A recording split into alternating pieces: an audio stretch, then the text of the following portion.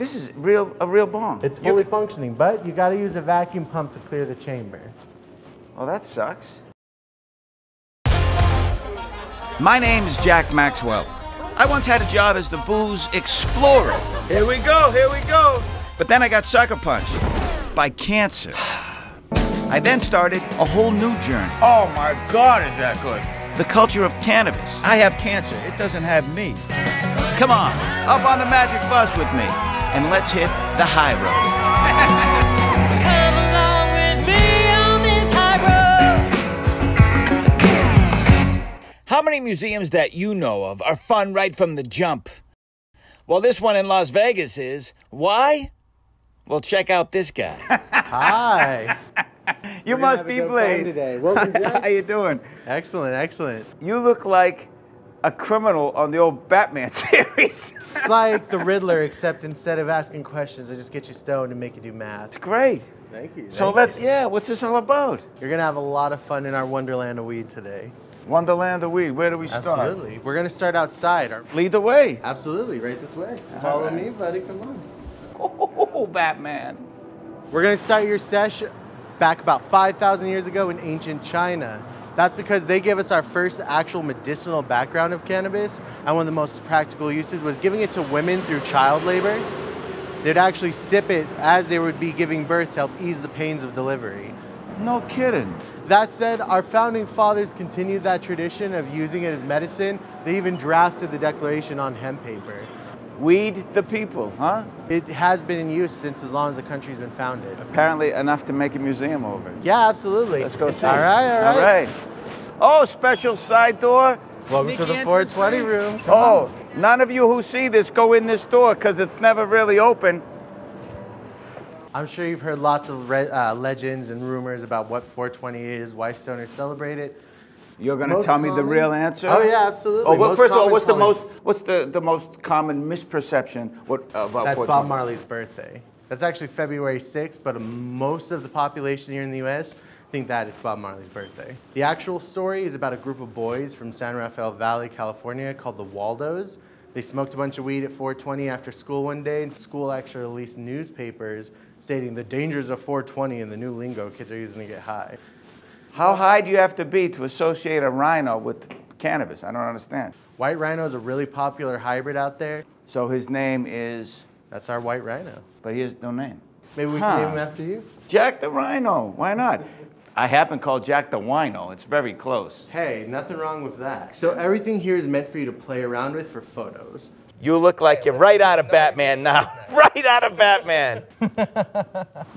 All right, so the next part's pretty cool. Let's talk about terps. I'm sure you're wondering why there's fruit hanging above our head.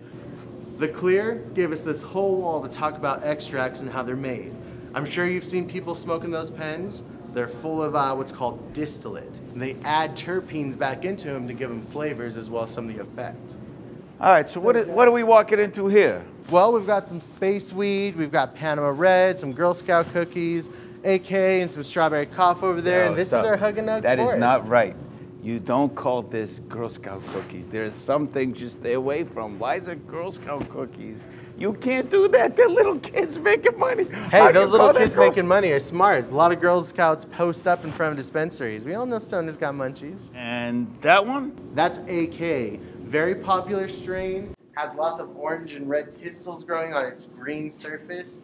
Definitely a classic bud and uh, definitely a classic image. I wouldn't want to go anywhere near this. This looks like a prop from a Mucinex commercial.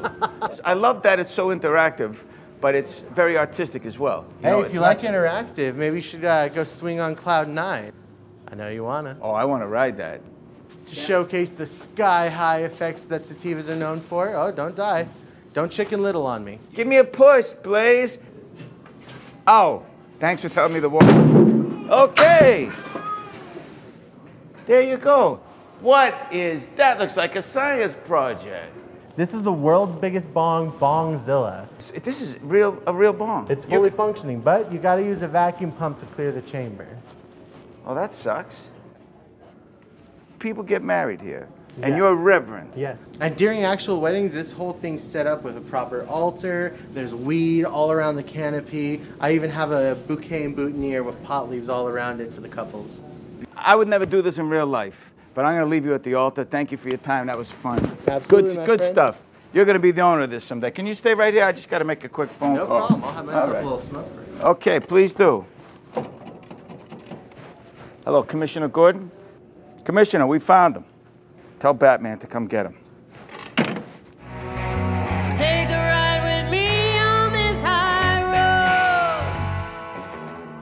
And now we have with us JJ Walker, who's the founder and CEO of the Cannabition Museum in Las Vegas. Hey, JJ.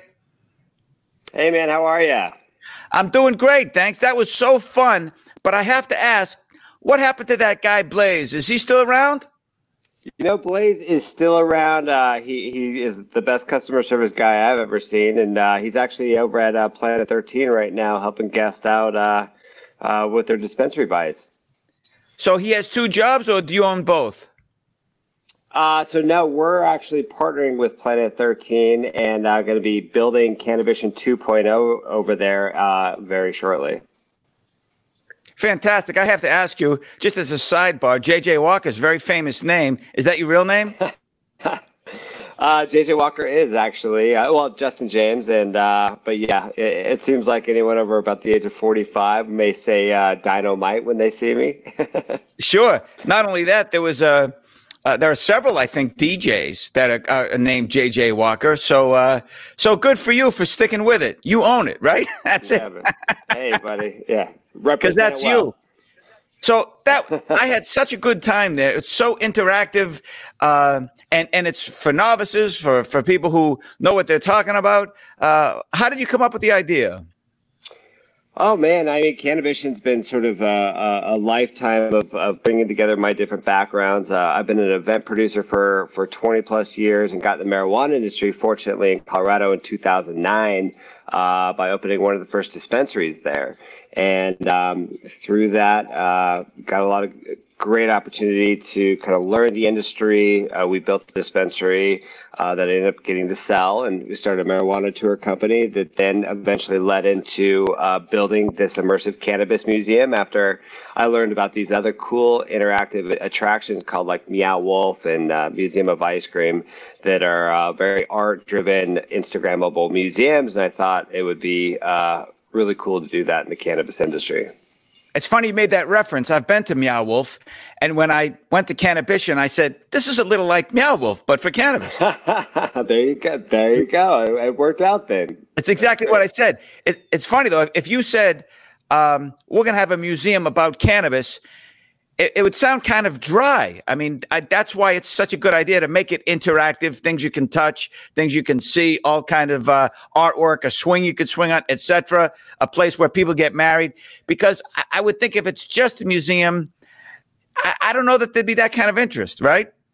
Yeah, there's not the. I mean, if you think about it, you get stoned. Uh, people think of uh, some people think of stoners as lazy, but I actually think of stoners as very active and um, uh, experience, experience kind of driven. And, and, and, and Cannabition is sort of the forefront of what I see the future of social consumption being, meaning like the ability to consume cannabis in public spaces. And versus the idea of just sitting around and smoking some weed, uh, people want to interact and have fun. And there's so many cool new technologies and, and uh, these new immersive experiences that I thought it would apply really well into educating people and also entertaining them while stoned or not stoned. How do you get past the idea of someone hearing about a cannabis museum, regardless of the clever name, and say, well, I'm not really a user. That wouldn't be for me, or I'm against it. That wouldn't be for me. How, how do you get the general public to understand it's kind of fun whether you consume or not?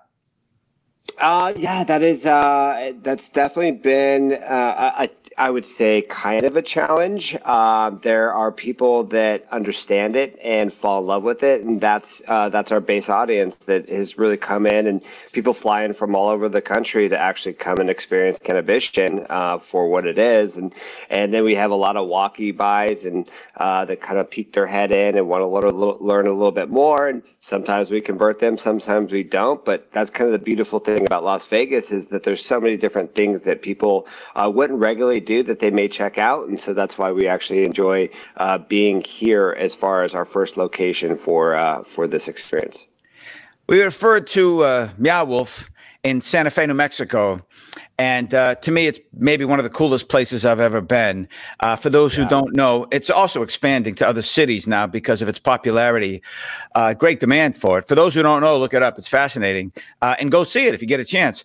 Um, but they change out uh, things every once in a while to mix it up for people who've been. Do you do the same thing? Um, absolutely. We are actually now in transition into a amazing new location. It's actually our dream location. It's uh, it's still here in Las Vegas. It's uh, called Planet 13, which is technically the world's largest dispensary. Uh, they have like well over 100,000 people a month that walk through their front doors. And so we've uh, we've secured a lease with them and now we're in the preparation mode of building uh, the next biggest um, badass uh, cannabis experience of the world and take everything that we learned from uh, from this first from this first location that we had and and really do something extraordinary. And and part of the extraordinary thing that we're actually creating is the ability to interchange exhibits every six months and uh, with the exhibits actually being built in shipping containers of all things. So the shipping containers come in and out and people have these uh, immersive cannabis experiences and these uh, sponsored uh, uh, uh, little exhibits built in, in these containers, and and uh, and then eventually that those containers will actually be traveling around the country, so people can have uh, those experiences all over the place. One thing I noticed on the side of the wall, as soon as you walk up to the museum, and Blaze pointed this out, uh, it's the uh, about the founding fathers and and hemp, the history of hemp, etc. But inside, it's mostly interactive. There's not really the history inside laid out, and there's not. Uh, you know how it all turned with reefer madness and prohibition in 1937 you purposely decided to make it more visual more of an aesthetic uh, than a history lesson yeah we wanted to focus kind of more on the plan itself and uh, the history of that of that not so much heavily into the politicking of uh, the legalization or not legalized, legalized cannabis and so uh, for us, we started with a narrative, and so before we, st- you know, built one thing, we sat down in a room together. We came up with ideas, and we talked and we created a story. And so the story really progressed from this idea of okay, we're going to tell the history of cannabis, or are we cannabis? And so we took it from a mindset of like, okay, what if we were actually THC? And uh, that was the foundation that we created when we built out each of these installations. And so you go as you go through each different room, it's kind of taking you on this journey of being THC.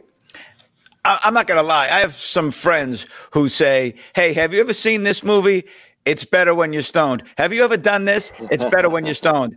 Uh, if you'll allow me saying, I think a trip through your museum is for people who are probably consuming. I'm sure it's going to heighten that experience. No? I mean, uh, cannabis heightens a lot of things. I, I, actually like to smoke weed and run. so go on a good jog and smoke some weed. I'm telling you, it's going to be in, in heightened up. So, wait a uh, minute. cannabis. Hold on. You, you you consume you you you get high, smoke cannabis, whatever you want to say, and then go for a jog. Oh, absolutely. How is it different than when you don't? I got to know this. It gets that runner high going real quick, and you get that really good music set going in your head, and you get that flow going. And uh, you know, running is a lot more mental than it is almost physical in a lot of ways as you start kind of progressing in, in the sport. And uh, cannabis kind of really helps calm the mind and get you focused on uh, on other things and the fact that you're running. I never would have put that together. That is, that's fascinating. I, I never would have done that ever. I mean, no, there's some things we did on the show. Uh, with probably next week's episode, we painted. You know, there's the CBD. It's also in Las Vegas uh, paint mm-hmm. and puff, and there are other things, cooking, cannabis, etc. But running, I've never tried that. Well, you're gonna have to give it a shot. Pretty easy to do. Just to smoke it, put on those shoes, and get outside.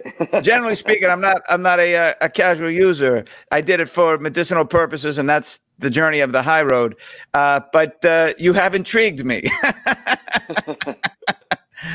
let, let, let's say that. So, uh, one thing that makes your museum so unique, one of many, is as soon as you walk in, you're greeted with this uh, this wonderful aesthetic, like I said, but this by this larger than life character, Blaze Lynn, who uh, certainly patterns himself after some kind of cartoon character or the Riddler, as we as we landed on in Batman. How did you find a guy like that? And it was was that your idea or his?